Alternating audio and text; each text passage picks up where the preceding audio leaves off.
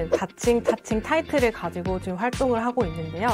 제가 처음 디지털 진료를 했던 건 아무래도 구강 스캐너를 처음 만났을 때였어요. 이 생소한 이 기계는 무엇인가? 이 카메라는 무엇인가?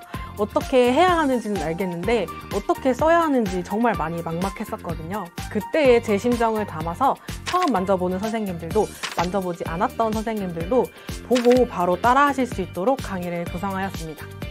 그리고 스캐너 말고 디지털 치과 뭔가를 더 해야겠는데 아 프로그램도 비싸고 컴퓨터도 없고 이러신 선생님들을 위해서 이 chairside 디자인 프로그램은 가급적이면 무료 프로그램과 컴퓨터 사양이 그렇게 높지 않아도 어느 정도 돌아갈 수 있는 그런 간단한 프로그램들 위주로 구성해서 소개를 해드렸습니다.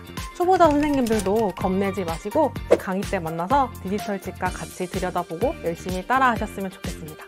그럼 강의 때 뵙겠습니다. 감사합니다.